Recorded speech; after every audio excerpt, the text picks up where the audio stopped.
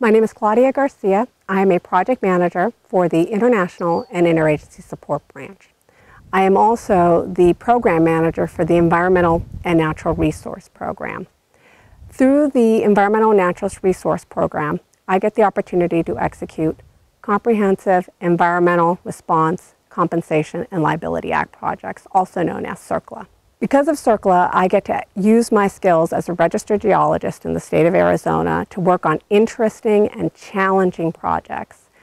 I get to put together teams of subject matter experts where I get to apply my skills and bring their skills together on a team to meet the challenges of our budget and technical requirements for a project, our schedule requirements.